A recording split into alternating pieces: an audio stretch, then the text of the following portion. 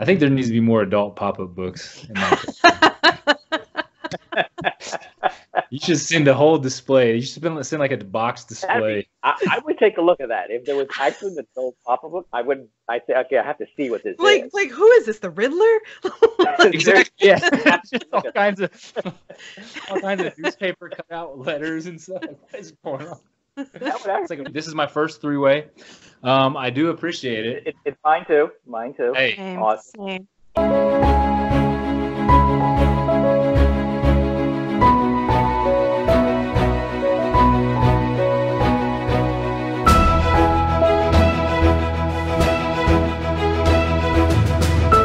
oh no! I knocked over my microphone. Oh my god! Too bad this. Too bad this is all live and people are watching around the world.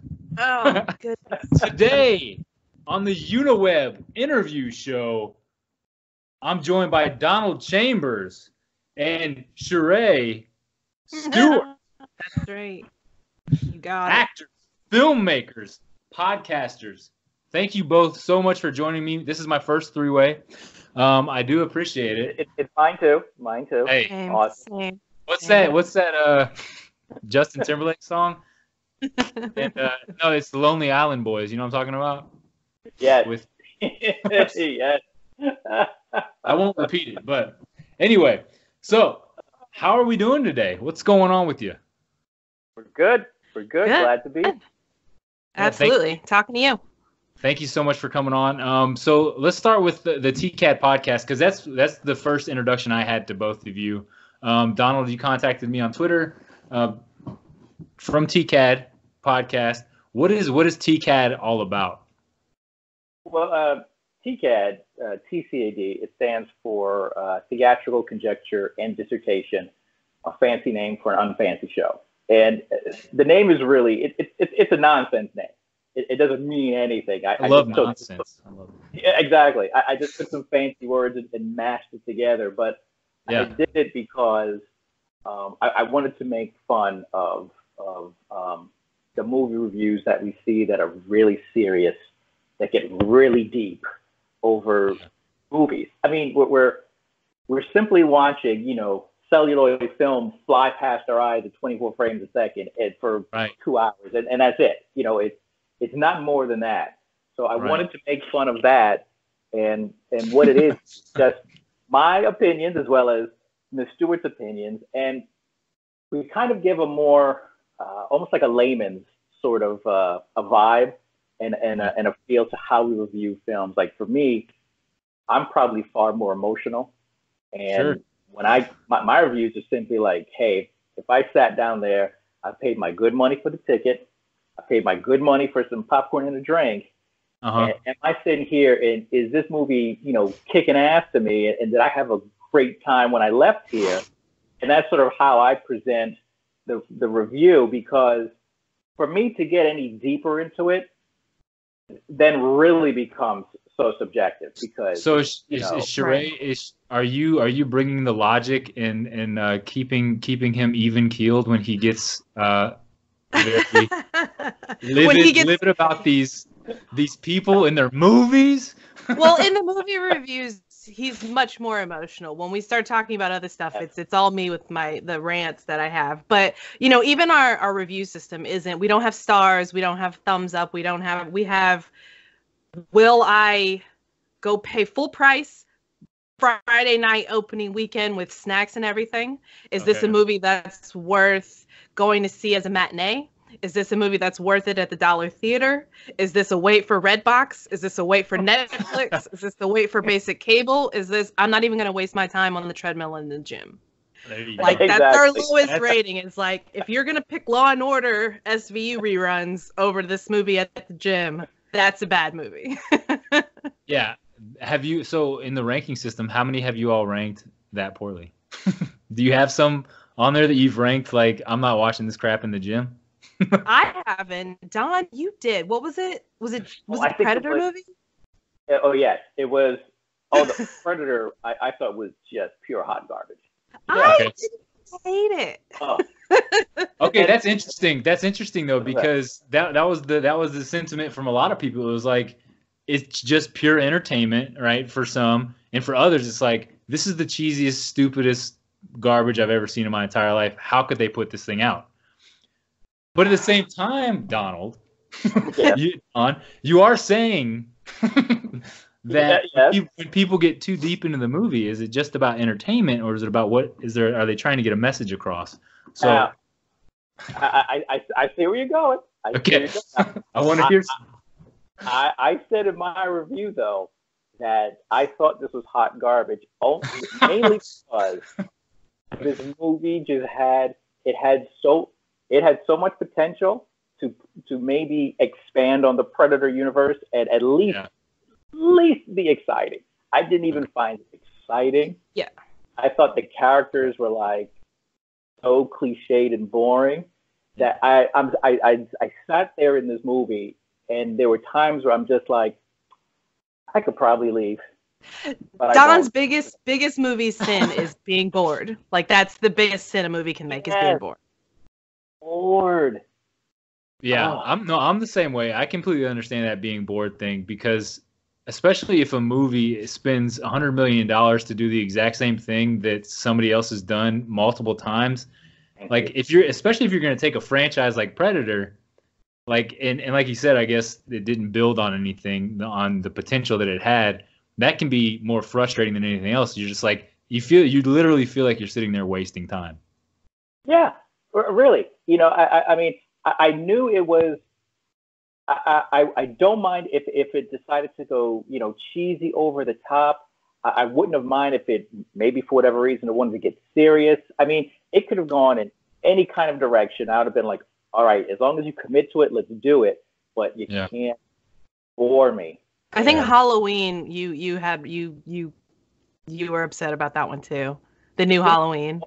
Well, And- I want to I want to ask though, Stray, what did you like about Predator? What was it about Predator that you that you were like, what is your what's your problem, Don? Okay, so no, no. See, my biggest here's my thing is um that this is actually my my new column that we're that I'm gonna start is um it's called I didn't hate it, but and so Okay. for me it was it was fine because you know there were some really solid performances that I that I liked. Like I loved Sterling K. Brown in it. I thought he was really good. He just didn't have anything to do.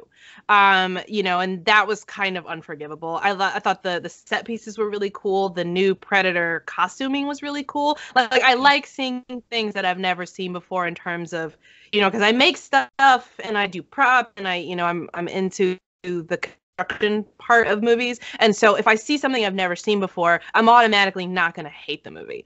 Um, I do really, really wish that that you know Arnold had showed up in the end like they had Oh, wanted. yeah.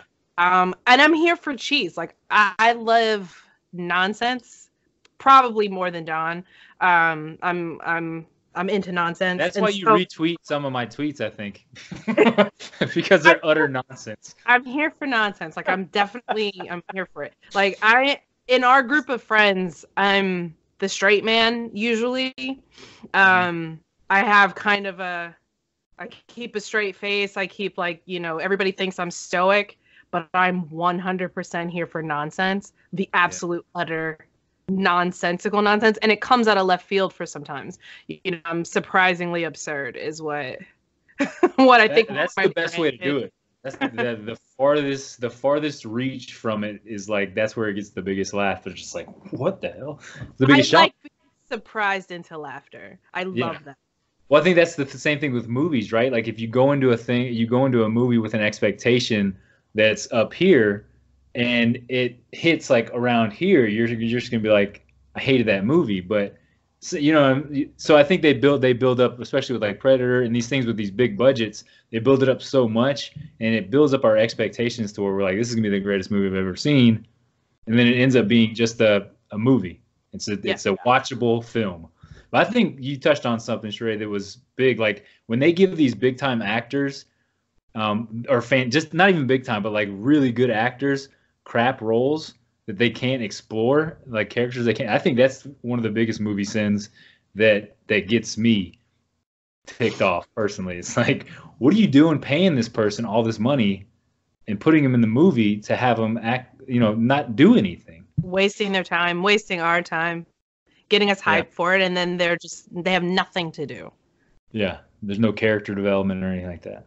Yeah. hmm So, so the next movie was what would you say? Um, That Uh, he hated Halloween. Halloween? was uh, yeah, the newer the new Halloween. Don hated that one. So I I haven't seen that one. Alita Battle Angel. That board Oh yeah, you hated that. Really, that's gotten such great reviews. What's the deal?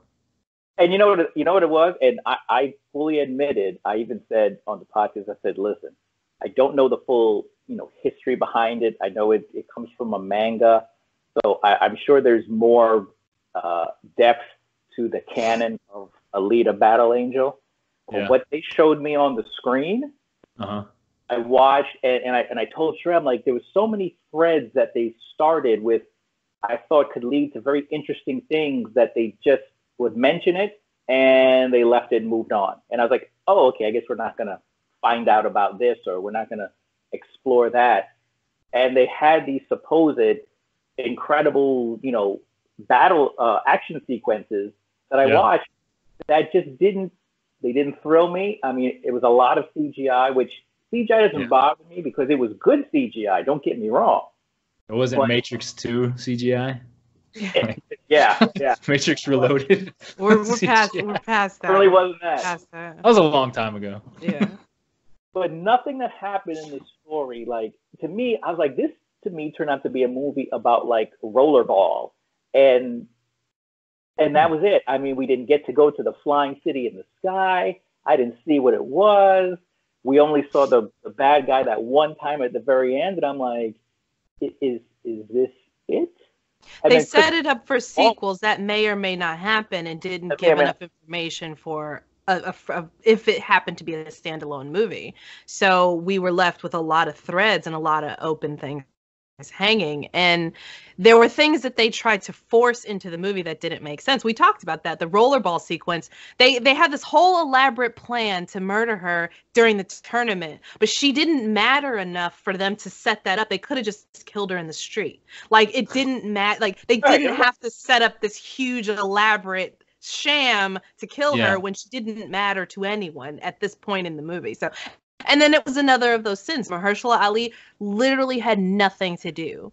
And the character from the manga is a lot more uh, duplicitous and he plays both sides and he has more to do. And for them to just have him be essentially a, he was at, at times like a puppet for the main bad guy. Like, Yeah. like literally, like the main bad guy would kind of download into his brain and speak through him Oh, wow. um he had nothing to do and that was like kind of unforgivable i didn't hate it though I um, think That's one of the tough things, though, that the, the movie studios do is they have to hedge Yeah. their bets and play to what they think is going to not only give them the best outcome in terms of money up front, but then potential earnings in the long run. And so we get a we get a we end up getting a watered down product, but it's still a huge blockbuster. But mhm. it's like for people who watch movies all the time, it's like you're you're killing me. Like give me give me the whole product. Give me the product that I'm paying for. Right And what you just said in that uh, studios hedging their bets, I mean, we talk about it a lot in our podcast. Not necessarily that point per se, but we do talk a lot about how studios seem to lack the um, imagination or the willingness, be it in the stories or the cast. I mean, perfect example, perfect example is uh, Jordan Peele, because when he, we'll start with Get Out. I Yeah. mean, I have, I've, I have no doubt, and and from I believe the story, like a, a, a bunch of studios passed on on Right. Get Out. It took him a while to, to get this going, and from one movie, he he is almost like a genre unto himself Yeah. in a way, and especially from the reviews of us. Now, if it was left up to a studio to put that together, say the Get Out package, oh, it would probably, you know, it wouldn't be anywhere close to what Jordan Peele gave us. And Yeah. we always, we, we just mentioned though that how how sometimes it there's so much creativity out there. I mean, there's so many, be it actors or writers that just have a good, different, distinct vision that mm. Hollywood doesn't seem to be able to get out of the old way of of casting somebody or or how an action movie is supposed to go. Like, I'm so grateful, just in terms of action, that Hollywood has finally left the whole shaky camera thing. I think it's done. Yeah, God. I It's like think that's everyone ran and threw up in the bathroom multiple times during the movie. I know. Yes. if there was like a whole period of the early Handheld found footage. like everything was, was, was I mean, and action sequences you just couldn't see anything that was going on and you're Well, it was after it, it was after um Blair Saving Witch Private, Saving Private Private Ryan too though. That was like did the shaky cam. yeah, where he was there was like he, he's Spielberg's like running around Yeah. filming. the But whole it's a thing. lot of The Yeah. Bourne movies. Oh, Yeah. yeah. Yeah. Well, a lot of times we feel like, and we've talked about this too, is that Hollywood producers and executives, they will take the wrong lesson from movies that are super successful. So the the Blair Witch Project was super successful and it was, you know, underground, it made a ton of money and they took okay, people want to see found footage shaky cams. Let's make 10 of those. Or you have paranormal activity where, you know, they set up all the cameras. So they're like, that's not the thing that made it interesting. That was Right. a, that was definitely the gimmick part of it but it was well acted. It was interestingly crafted. There was a new kind of demon that we hadn't seen before. It was a new situation that we hadn't seen before. They just take okay shaky cam let's make 10 of those. Okay found footage like cameras all over let's make 10 of those. Like they take the Yeah. wrong lessons and run with it rather than or you know even wonder woman was wildly successful but Right. dc just can't seem to get it together. Um we talked about this briefly um when after wonder woman came out and then the justice league came out how you know you go back and you watch wonder woman it's very much the female gaze where you see these strong women you see like their their muscles that you see them their eyes you see everything that makes them human beings. And then you watch the justice league and there's like upskirt booty shots. And it's like they just aren't They, quite they can't getting figure out who they want to be. That's they what they're cannot like. figure out who they want to be They're chasing Marvel. They want. They're like, we should be funny like Marvel is. They they do all mm-hmm. these quirky fourth wall breaking things. We should do that. But then in the same vein, they're like trying to be as serious and like this is this is like world ending type stuff. You have to Right. believe in it. It's gonna Right. change your life. And they just they, to- they have no identity. Right? They're trying to keep that christopher nolan batman vibe and then Yeah. marry it to the Marvel bright colorful universe. And it just instead of just paving a new path they Right. want to mishmash other things that have been successful. And that doesn't always work. Which which Marvel is getting to a point where they've done it they've done it well their storytelling.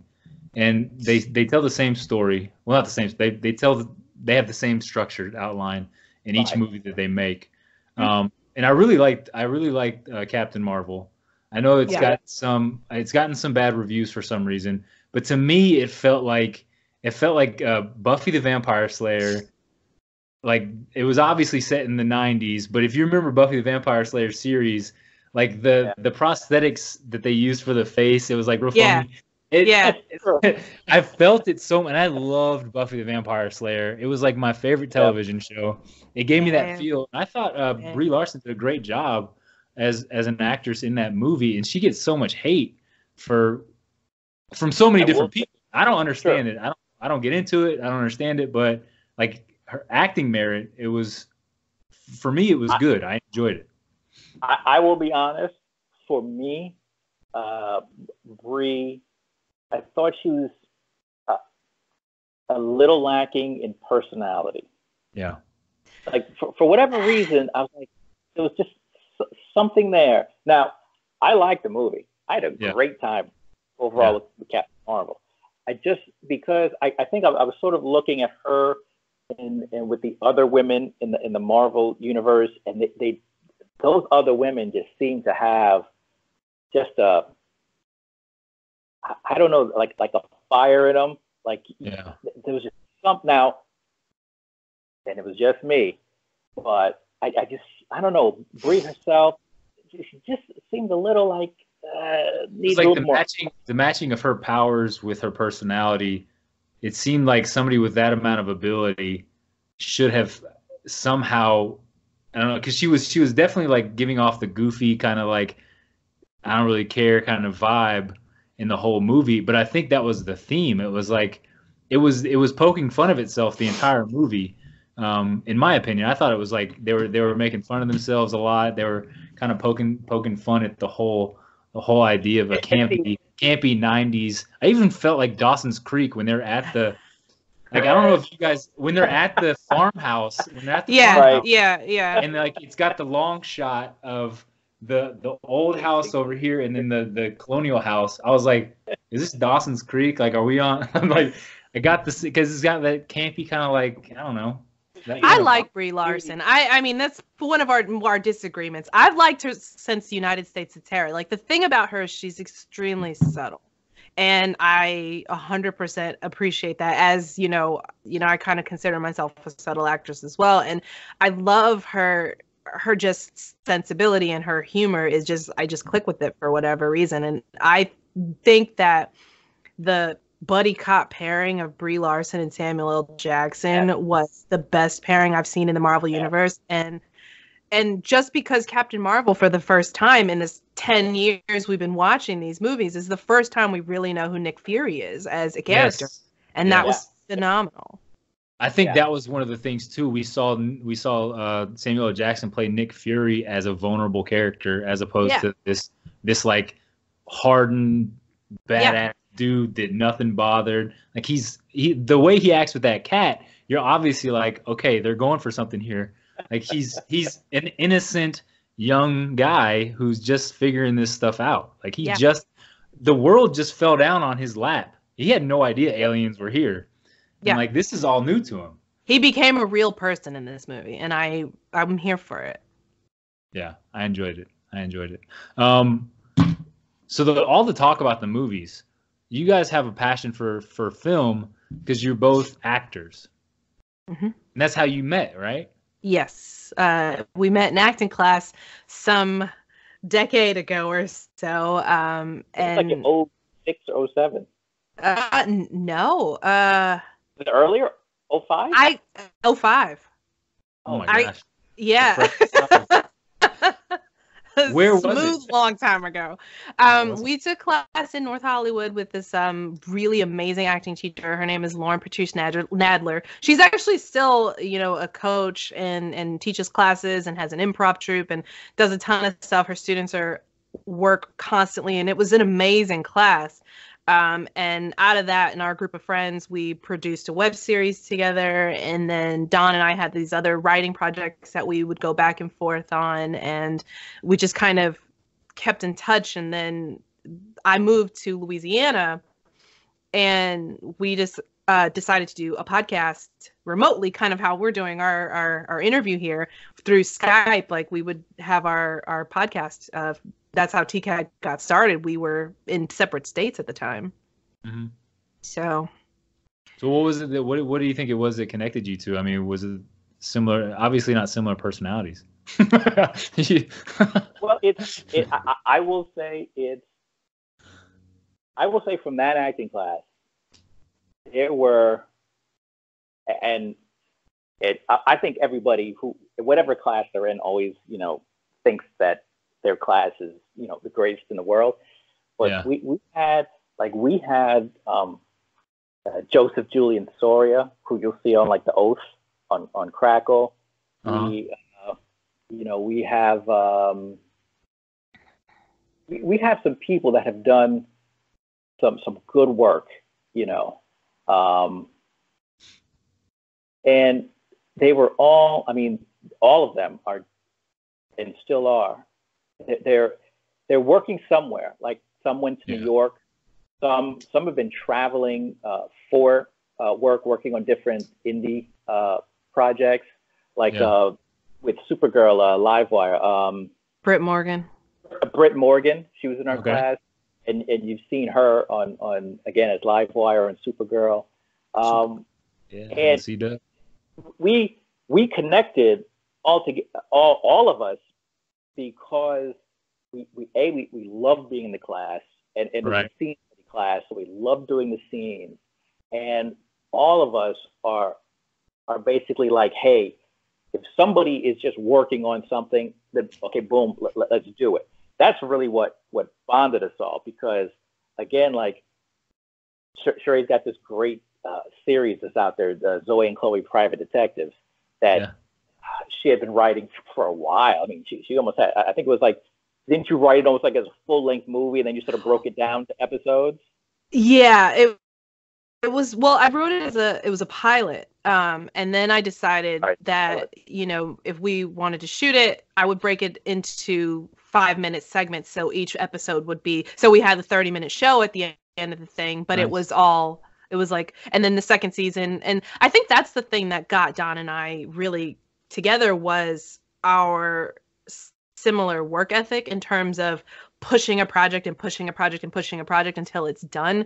You know, it's yeah. really easy in Los Angeles to get distracted. It's, it's really easy to kind of let things fall away and start something and never finish it. And both of us kind of had the mentality of no matter how long this takes, we're gonna yeah. finish. Yeah. Yeah. And and we had we had help from a bunch of people in the class and it was all done on zero to very little budget and people showed up and it took a while. It took a, just to do some of these episodes took a while, but we were like, okay, whenever we can get together, we're gonna finish it. We're gonna do it. Like she said, however long it takes, and and people can still it's it's still on YouTube. If somebody takes it out, it's there's so much great potential with it yeah. that I I'm always I keep telling Trey she needs to to do a, a reboot of it, and and we need to go back into that because I still think it's a great idea. I would love to, see. That's that's one of the that's one of the greatest things I, I think you can do is because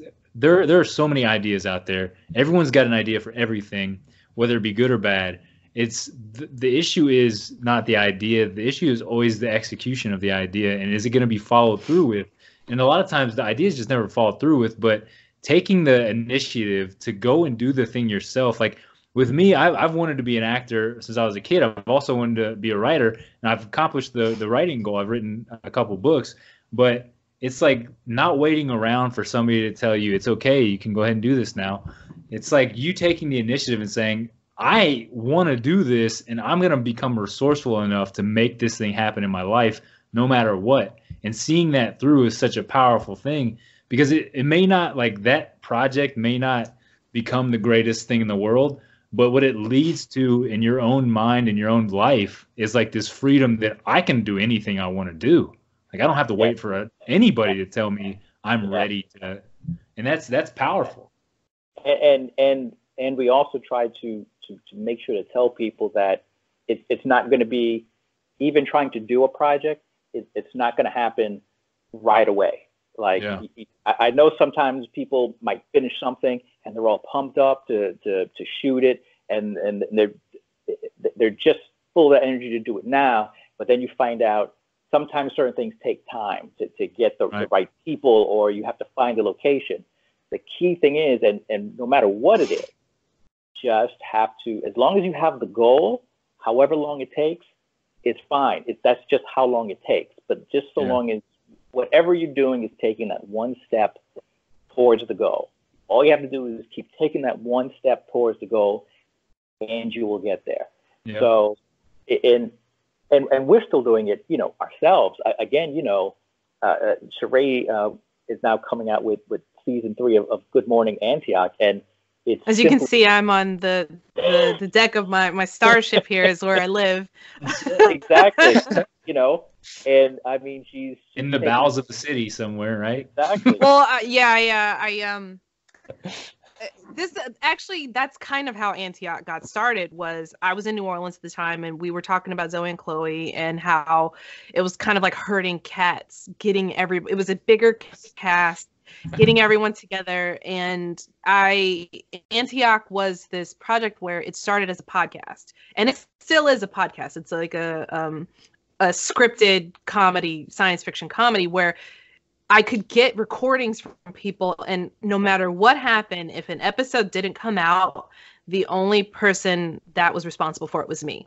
Oh, okay. So it was, you know i wasn't having to rely on tons of tons of of people and locations and the weather and things that could fall through and as we moved into the second season and it became live action i wanted to you know i have green screen and and don i have a puppet character that don does the voice of and he'll send me the recording That's and awesome. then I'll, I'll do the puppet in on a green What's screen the voice? I don't. I don't want to interrupt, but I want to know the voice. He's so smooth. He's like a smooth talking sales salesman puppet. Um Dude, puppets are the best. Sorry, keep going, and then no, we'll no, no. It's just it's just a matter of you know, I had some I, in New Orleans. I got into um I worked on parade floats. And Okay. a lot of people I worked with worked on movies and did, you know, movie uh, scenic stuff. And they um, helped me build this set that, you know, you know that's what we were working on in New Orleans. So I have like the set that they could I shipped it out here and you know am able to just have it in my house and we can do this That's whenever. cool. And so it it became a matter of you know personal accountability, I guess, where you know, and then things you know it's difficult when you're working with no money, but you want it to look as good as possible. Um, it's, it's definitely a fine line, and and Don and I are very much about not putting out garbage just because it's Try not easy. I'd rather wait and have it be good. You know, garbage. It's a very uh, uh, subjective subjective term. it's like I tend to believe I can. I am incapable of putting out garbage. Everything is great that I do. If you don't like it, it's just That's it's the mentality. It's because it's art, man, and you It's don't art, understand art, man. I'm art. It's not my fault. no, it's just a matter of taking the time to make sure it's done as good as we can possibly do it. Absolutely. You know, as opposed to rushing something out. I want to ask you because it's got to be, and I was just thinking this because I look back at my life sometimes and I think about what I'm doing now, and I'm like, how the heck did I get here? Having a studio like that in your home, do you look back and it, you know, when you were when you were dreaming about being an actress and dreaming about being in entertainment that kind of thing, and think one day I'll have a studio of some sort in my house or like a starship in my home where I can go and record. Like, did, do you think back to that and like, how the hell did this? how did this happen? You know what? It's it's it's necessity being the mother of invention because I, I just wanted to be an actor and just go to set and do my job and work on a show and go home and like lay by the pool and do whatever. But the the types of of roles that I'm interested in. You know, I like weird science fiction. I like stuff like Brazil. I like Douglas Adams. I like Kurt Vonnegut. Like I like weird I you, you know, Monty Python Oh, yeah. nonsense. But, you know, black women are not in those things. They're not cast in those things. They're not, you know, necessarily involved, or at least they haven't been in Hollywood in the past. Right. And so, you know, it was even something like Zoe and Cloey, Private Detectives. I could see that on Nickelodeon with two little white girls. Not to put too fine a point on it, but I could. And Right. so I started. That's kind of really how this all got started. Was writing the types of material that we wanted to be in that we didn't see. And that's actually how we met was because I wrote a book that started as a script for this weird genre bendy urban fantasy science fiction thing that I would love to be in. So the main character is essentially me and then you know all of my my friends who were actors I wrote them as like the characters were based around who I could see playing them. And so it's a super huge, you know, multi racial cast that you don't necessarily see or hadn't seen in the past. Like I feel like the tide has turned on that some and maybe now is the perfect time for something like that to to happen. But the script just grew and grew and grew and became a novel um, Yeah. that I'm querying now. And I joined the writer community and that's kind of how I like met you on Twitter. Yeah. And you know, it's been an amazing experience meeting all these people who are are so creative and driven, you know, just like we were. yeah Yeah. the written word is such a powerful thing like i know um, what you're doing is is it's incredible testament to what writing and and speaking the uh, a powerful word into existence can be because like even with like do you all know the story of Sylvester Stallone and how Rocky was made and all that kind of like yes. he had no nobody wanted to give him any opportunities and you I got him like but nobody wanted to give him a chance and he wrote a script for himself and he wouldn't sell it to anybody unless they let him play and like he sold his dog he's like he was so dead set on doing the thing that he wanted to do it sounds like I mean that's the same kind of mindset that you're in. Like if you're not going to write something for me, I'm going to write something for my damn self, and I'm going to make it happen. And, and, what's amazing is I'm glad you brought that up.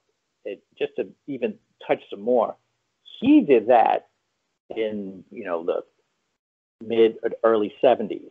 Yeah. This was a time when there was no way for just your average Joe to make a film everything was done on film. You had to buy yeah. film, film cameras. I mean, the ease to which you can record, or, or even what we're doing here, it's unfathomable back then. And right. his wherewithal of like, no, I'm going to convince a studio to make yeah. me a nobody the yeah. star. Look, I've told I've told Dre the whole Rocky franchise, except for Rocky Five, that will. We don't talk about that. We don't yeah, talk about was... Tommy Gunn. Tommy. no. We don't. We don't speak about that one. No. Sorry. this has to one of the most quintessential American franchises of the underdog, and everybody, especially in our business, in entertainment in any form, you yeah. are such the underdog that I mean, if, if if you can't relate to Rocky, I just don't know what else you can relate to. Yeah, and I, th- I think uh, not enough people know that the true story behind it, like we're talking about. Exactly. Like that, yeah. that story is absolutely mind blowing. Yeah, you have to know your worth and be be like have that conviction.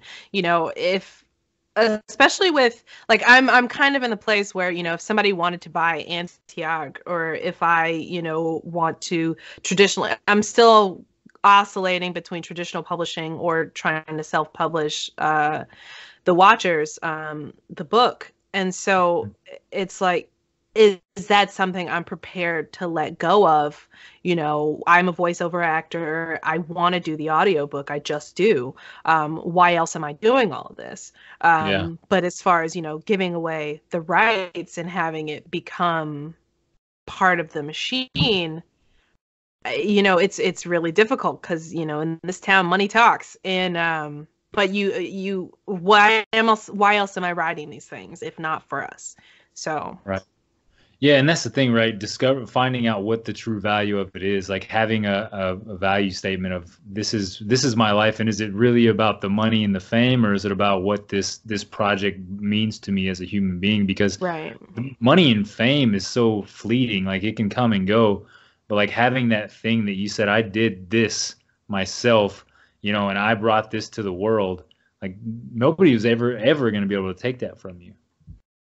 But that's something right. we have to define. Yeah. You know, we have to be yeah. able to define that.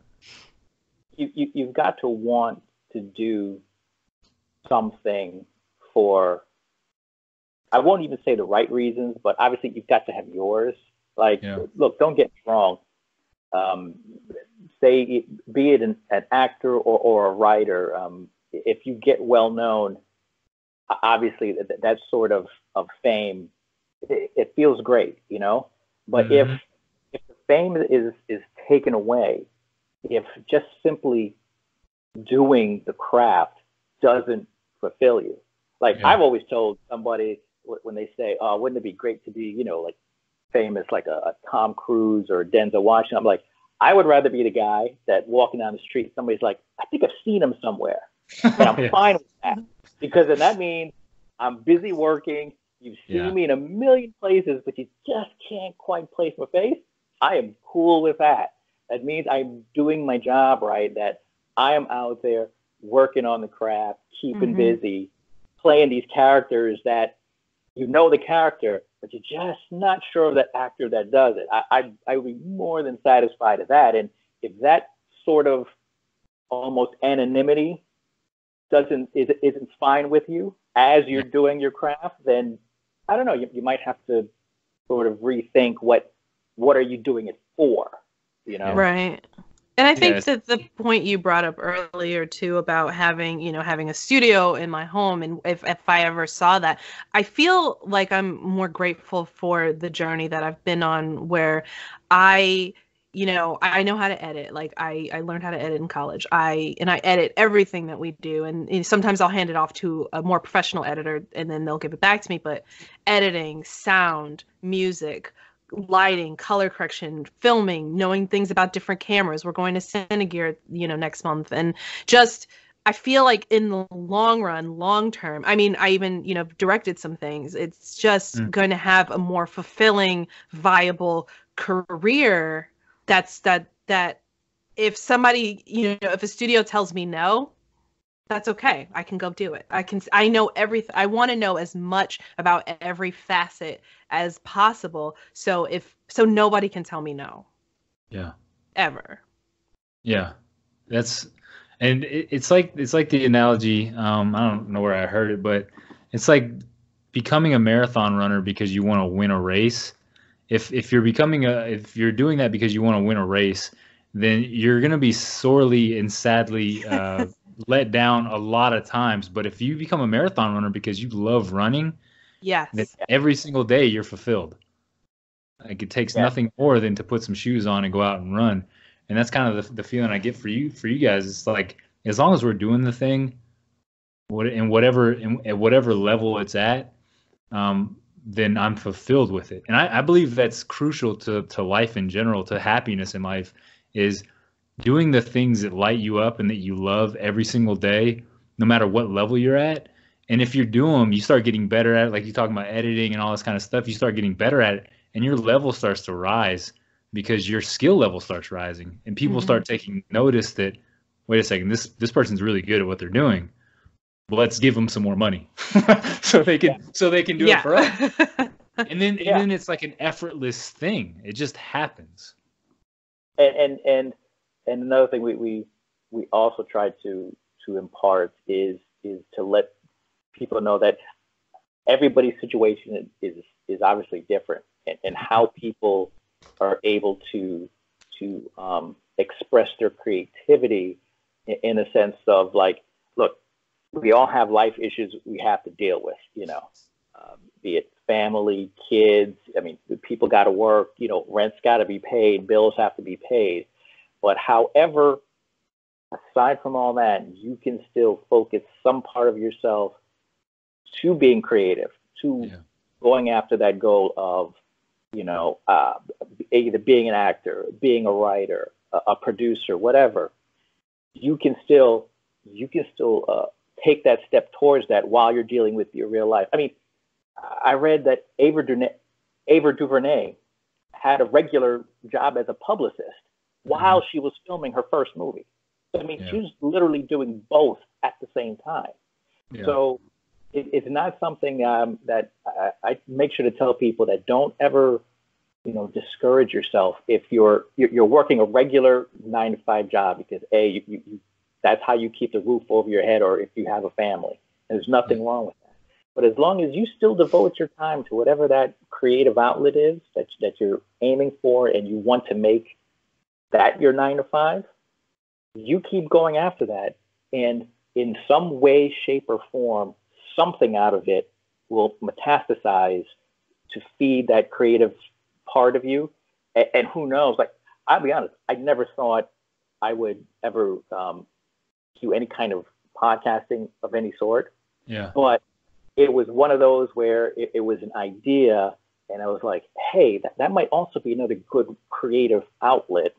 And then, you know, it led me to, to asking Cherrae if she wanted to get involved in it, and it, it seemed to tie into certain other things that she wanted to do. I mean, you just never know where Yeah. you know your, your creativity might lead you into other avenues that help fuel you create creatively. While you know you're also you know dealing with ever whatever real life stuff you've got to take care of. You know, I, I just want to make sure people don't ever just give up totally and and just sort of leave it at the side because I think more people is that that's not the sort of regret I personally would, would want to to live with. I mean, I can deal with trying something and it not working than having Yeah. never tried it at all. Y- You know, Well, it's like living in it's it's what I think a lot of people um, don't see it properly. It's like if if you have any experience in finances, um, like having to work a job and pay off debt as you go. It's kind of like invest you like with life we're investing. We obvi- we obviously have to take care of the things that keep us alive, that we that keep us surviving. But we have to invest the additional, the whatever additional we have above the survival point into something that's going to make us thrive because if we if we only live at a, at a level of survival and we're only investing in our survival um, our entire life we'll never be more than you know the the the risen piece of dirt that we were right? It's like how do we how do we break free from that? And i and i really think it is it, it's a financial financial principle. It's like you you uh, have to pay off that bad debt as quick as possible in your life so that you can move on to the things that really really inspire you.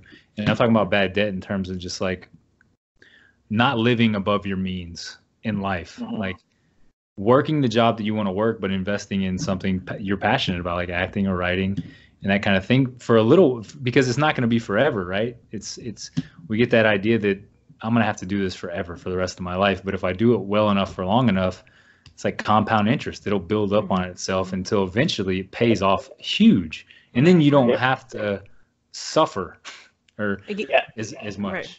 Well, even now, I can't imagine if I start making, you know, tons of money on on a series. I can't imagine not taking that money and instead of buying, you know, a mansion in Malibu, I want a studio. Like I Yeah. want I want to build things for the rest of it. Like I want us to keep making this thing bigger and bigger and bigger. Like I am not um content with just living the Hollywood lifestyle, going to work every day anymore. Like now, I want more than that. Yeah. Yeah, it, it becomes more than just let me get a bunch of money so I can buy a mansion to Yeah. take all my, take all my money, pay for that Yeah. mansion. Yeah. Yeah. Let me get a bunch of money so I can make more stuff. Right. Yeah. It just doesn't make sense. Because It- if- because it's yeah. basically like y- I'm if I'm going to work at this job that I hate so I can pay the light bill, the gas bill, I can pay for the Netflix and the Hulu and and all these luxuries that I think I have to have at the at the moment, you know, it's it's like move we have to move past that idea and just be like I'm going to invest in the things that I love like you said the studio and just raising our platform a little at a time. yeah. It's, it's such a cool thing. if- if if if I if I could al- almost in in terms of like if I could you know snap snap my fingers to be in that you know perfect position I could be in, it would almost be the same thing that that Cherrae said. It, it would I'd want to um, have my own production company, and I would Yeah. want to finance nothing but uh, new writers, uh, uh, new actors, uh, just new ideas, and, and just finance that and just churn that and, and put it out there and just create all new stuff for, for people who just haven't been given the shot before or just need that one first first opportunity to understand business and see how it is. That's that would be my perfect situation to, Yeah. to have a production company doing that as well as you know you can have your own personal pet projects but i would want to be giving those those new writers actors or, or, anybody else in the production process who are just looking for that that first start that first spark to get them going I would Mhm. I would want to be doing that, and because there's there's nothing nothing better than you, you're giving you're giving somebody that that that first opportunity because you you Yeah. really be surprised at how people can grab a hold of it and just run with it.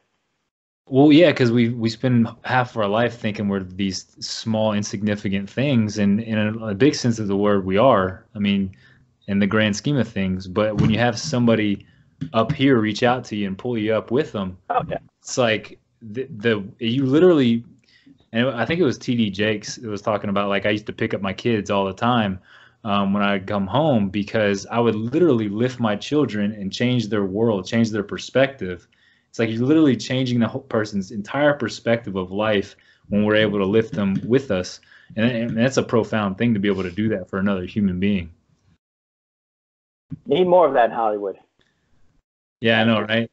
We're all we're all hugging trees and Hollywood is so fearful because there's Yeah, so yeah. much money involved and people are there's so many people who get a paycheck and don't do anything or don't know really what they do and so they have or they're afraid they're going to lose it or they don't know how it happened and so you or they're afraid of being poor like there's just this culture of fear around not having enough, not being enough pieces of the pie. And it's like instead of fighting over scraps of this pie, like bake new pies. Like it's Right. not there is no such thing as there's not enough roles, there's too many actors. There's there's a plethora of channels, there's a, a million different streaming opportunities. There there is you know, you can't live your life in in a fear of lack. Like you just like the, the universe has enough.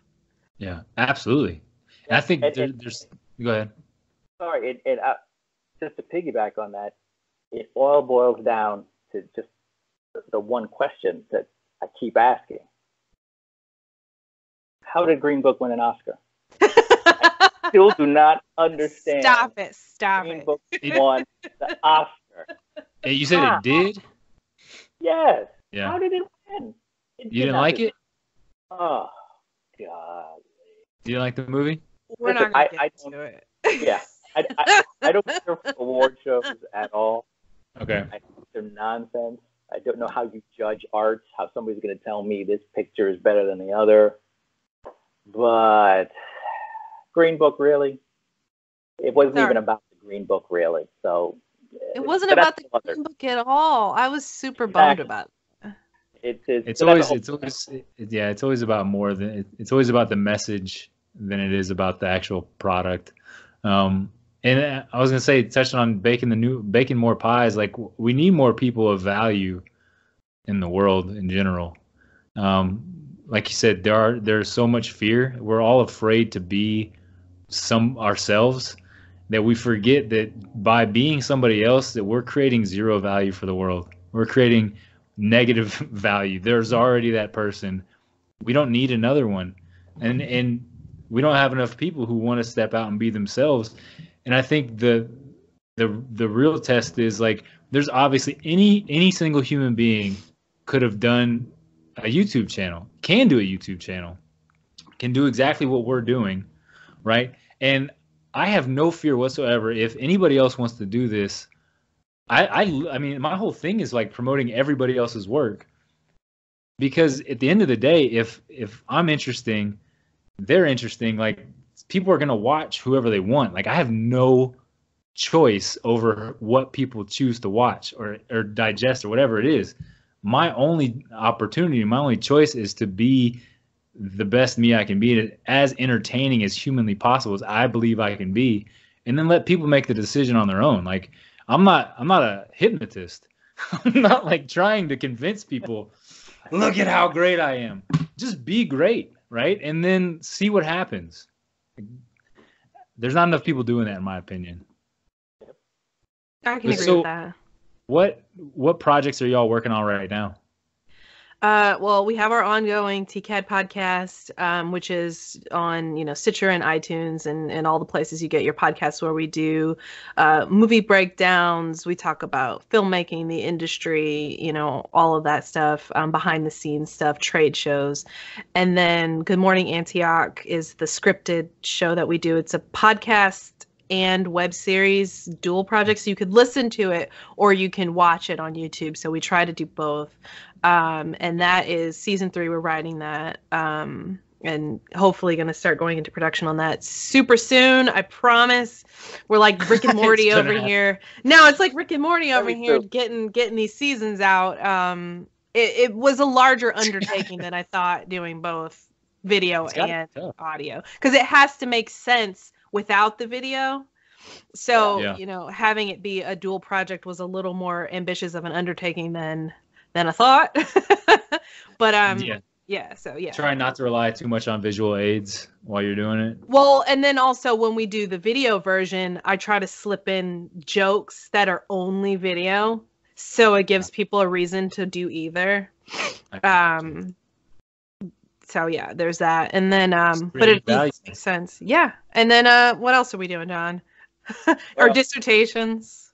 Yeah, obviously, uh, uh, TCAD itself, which if you check at tcadnetwork.com, it's got all Everything's of- there. everything is on on the website. For Okay. me, And that'll all be linked in the description of this video too, so everyone will. absolutely. Mhm. it, it- it, just for me, I I am still rewriting and writing. Um, I got three projects that I've got. Uh, Cherrae would know. It it must be eight nine years. One of them is uh, called uh, martial law. The other one is is called uh, what had happened was.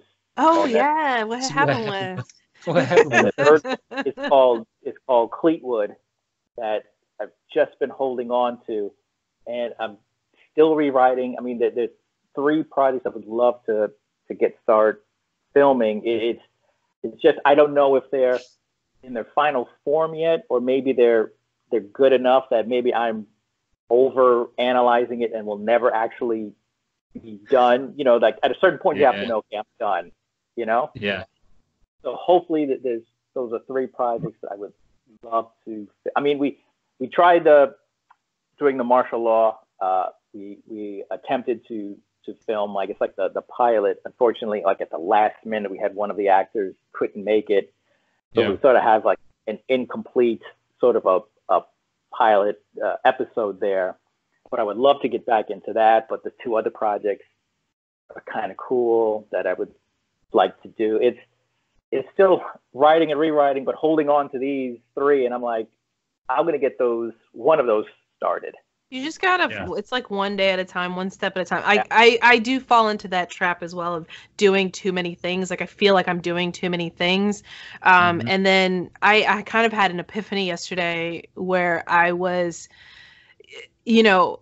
Everybody always says, you know, focus on one thing and do that well. You know, and it's like, yeah, my journey is a little more meandering and it's a little more wandery and and but you know what? I'm just gonna keep doing all the things. Here, Yeah. I'm doing all of the things, and they're all coming with me. Like I'm, I'm writing these things, and I'm acting in these things, and I have this book, and I have this web series, and I have these art projects, and they're all coming with me. And you guys can go pound sand. You know? And at the end of the day, I mean, if you're happy doing them, it's like, what's the big deal? It's it's about it's about your own enjoyment, right? Right. Yeah. I mean, yeah. I get I get caught up a lot in thinking like I'll be doing one thing and really enjoying it and into it, and I'll be thinking I should be doing this thing over here. Mm-hmm. Why aren't I doing that thing over there? Like I owe that thing anything. I don't know. like just do what you're doing if it, if it's making you happy. Then when you're done with it, go do the next thing. Yeah. It's a it's a hard it's a hard balance for all of It us. is. It is. You don't want to have, you know, 10 unfinished products, but, Yeah. you know, eventually they they will all get finished if you just keep Yeah. moving forward. Yep. Absolutely. Um, but Cherrae, you're acting as well. You have multi. Are you, you're on a, a television show now, right? Um, no, no. I um I just it was just like one episode. You were on episode, but it's still. I mean, yeah, yeah. NCIS. Yeah, I did That's that awesome. um before I left New Orleans. I Yeah. did NCIS. I did a couple movies. I mean, that was the whole reason why I went there in the first place. Is you know we were thinking it might be better to do bigger credit or smaller credits on bigger projects than just to to kind of you know build momentum for Sure. the the projects that we're doing. Um, and so yeah, so yeah. Does it feel weird to talk about it? No, it's just you know whenever you talk about stuff that you've been in, people are they they're like, so what are you in now? And it's like nothing. but no, I'm in. I'm in my studio. I'm in my I'm in pajamas right my- now. I'm in my spaceship. I'm in my spaceship right now. You know, doing whatever. Um, but I actually, since I've been back in Los Angeles, I haven't. I've been finishing this book. I haven't even submitted for a single audition since I've been back. And so now that the book is done and I'm starting the query process, I'm going to get back into the auditioning thing. So sometimes you do have to put certain things down to pick up other things. Yeah. So getting those priorities in line. yeah. Important. So now that the book's in query stage, I'm gonna jump back into acting, and I, am talking to some agents, and uh, we're gonna see so what we can do. Sent out, you sent out a bunch of letters. Uh, yeah, and I, I have some that I'm I'm about to hit send on today, and it's so weird and hard and nerve wracking, but. But you found you you have an agent for acting, correct? No, I haven't had one since I came back to LA. I had one in Louisiana, um, and I've had one in LA in the past. But now that I'm full time back into acting, I'm I'm I'm talking to some agents. Yeah. So you're looking for an agent for writing and acting at the moment. Yes and it's a very different thing. I had no idea where to start with looking for a writing agent. Uh, acting, I got, I, I understand how that works, but writing is so different. Yeah, I know. You gotta. I mean, it's literally just got to mail off a whole bunch of stuff or email off a whole bunch of stuff. You got to find these directories where these people have their secret email accounts that that only the the smartest among us know and they want a specific query in a specific format. Some want it in the body of the email, some want attachments, some want you to use like the query tracker software and upload. Like it's very specific. I've decided when I query this time around for uh, my next book, I'm going to go completely off the reservation with how I do it because I, it's got to be something different. I mean, I can't imagine being an agent like looking at the exact same format for the exact same thing every day, day after day again having to pick something out. Right. I think there needs to be more adult pop-up books. you should send a whole display. You should send like a box display. I, I, would take a look at that. If there was actually an adult pop-up book, I would. I say, okay, I have to see what this like, is. Like, who is this? The Riddler? exactly. Yeah. all kinds of all kinds of newspaper cutout letters and stuff. What is going on? That would actually like be cool you got to get their attention. I mean, you got to grab somebody's attention. You know, everyone's spinning signs on the side of the street nowadays. You got to do something different. Right. Got to th- throw that damn sign in the car. Say, get over there. I mean, yeah, it's definitely it's a challenge when it feels it can feel like there's so many gatekeepers to you know it's it's a crazy thing where you know ours is the only profession where you can go to school for it like we like we've done. You can do it for you know 10 plus years and still somebody says you you're not an actor. You you know you can go to school to be a doctor and do a residency and you're a doctor. Right. You know i can go i can have a degree in theater and i can act in a bunch of stuff and i can still have somebody tell me you're not an actor. And that's uh, it's so crazy. But yeah. it's got to be difficult to to deal with on a, on a regular basis. I mean, you have to develop that thick skin they talk mm-hmm. about. Even if it's not thick skin, just like oily skin, just like things slide right off of you, and you're like, not worried about it. Well, because it's stuff that you're not even you're not even responsible for. Like you can't do anything about it. Yeah, they just want a certain thing, and you can't change Right. And you never know. You might look like somebody's ex-wife that they hate. Like it right. could be something as minute or they didn't like the perfume you were wearing that day. It's it's nonsense. Yeah, you go into an audition, they're like, I just hate your face. I'm sorry. Can you get like No, but literally yes. That's what happens. You're done. God, I, I, gotta give it a try. I want to go into uh, some auditions. Um, I want to give I want to give each of you. A, uh, I've never done the like I said the the two way the three way thing. So final word for each. Um, Cherrae, we'll go ahead and start with you. If you want to, final word for the writing community or anybody uh, who watches this. I think just you know, especially the writing community who I've really gotten to know over these past few months, just just keep doing it. Like, you know, don't get discouraged. It's hard. It's it's hard to hit that word count every day. It's hard to write every day. Everybody has lives, but just keep doing it. Keep moving forward. Keep being kind. Drink water stretch. Stay hydrated.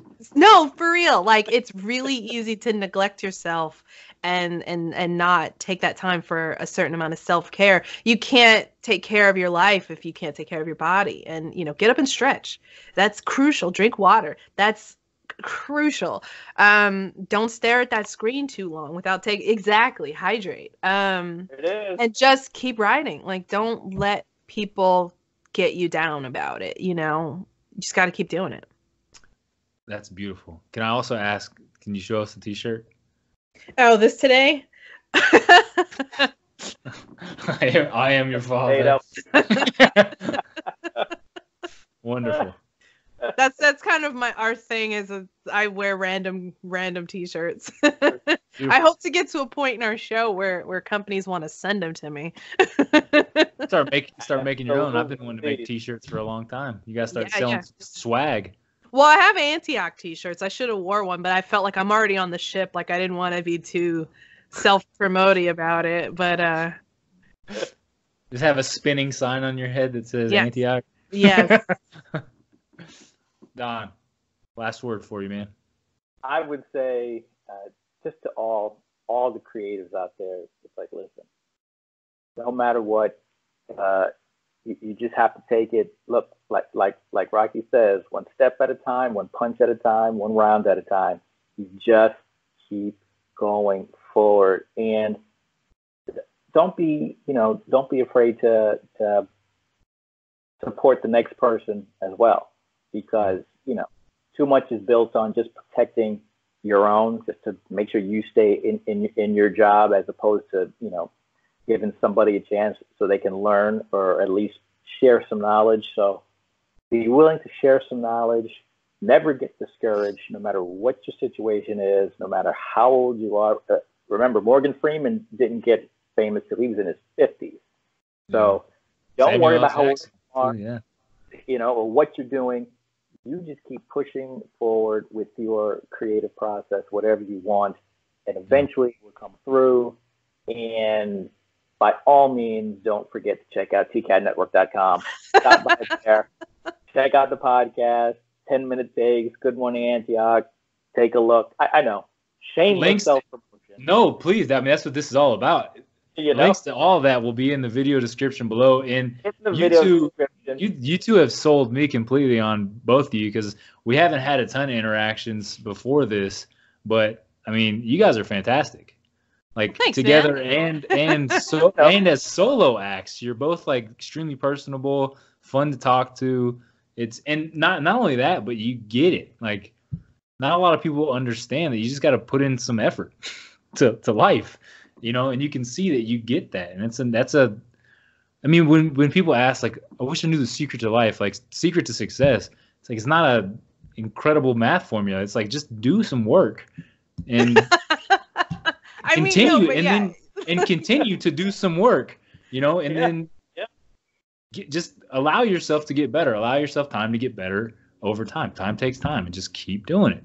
Right. I work And for a publicist. I work for a publicist and he, you know, he he stresses, you know, you sometimes you you have to be able to work for free and you have to be able to work for long and hard and then eventually you'll work for cheap and then once you've, you know, you've proven your worth, then you can demand what you're worth Yep. and what your work is worth. And so that's where I mean we we've done this out of love, we've done this for free, we've done this for cheap, we've done this for, you know, some money and then, you know, no money at times, but it's like we're putting in the seeds and the effort and and and planting our garden essentially.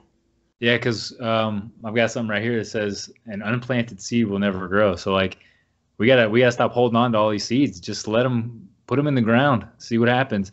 You guys have, I, you guys have gained a new fan for sure. Um, y'all are y'all are fantastic. I, tr- I truly I truly mean that. You guys are really awesome. Um, ev- the links to everything you've ever done in your entire life will be in the description of this video. because damn it, people need to see it. And uh, again, I really appreciate the time and Oh, let's stay you. in touch, right? Like, Yeah, absolutely. Thank you so much for hitting us up, like for sure. my pleasure. It's one of you.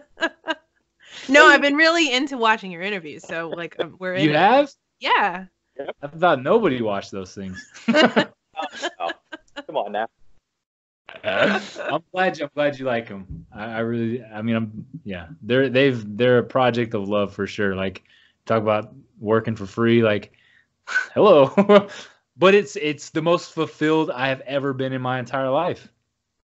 And, and then and I do the I do this stuff to make sure I survive financially and I get to do this because I absolutely love it more than anything else. It's like I remember being a kid and saying, I want to I want to do something one day where I can just sit around and laugh with my friends. How do I make that happen? and there you go. here it is. You know, it's it's all possible. Thanks, thank you guys again for coming on. Uh, cast TCAD podcast, multiple other things. Cherrae Stuart. Yes. Right? I did it. Right. Yes. Donald Chambers. Yeah. Thank you guys so much. Much love, peace, and chicken grease. y'all, y'all be good. See you later. Thank you guys so much for watching this video. If you would, subscribe to the channel and hit that notification for the bell. You know where we love you, love you, love you. You know where